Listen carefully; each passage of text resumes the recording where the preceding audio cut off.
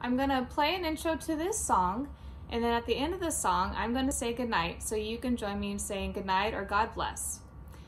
And now to synchronize this video, we're gonna count down from three, and on zero, you're gonna clap with me on camera. Three, two, one,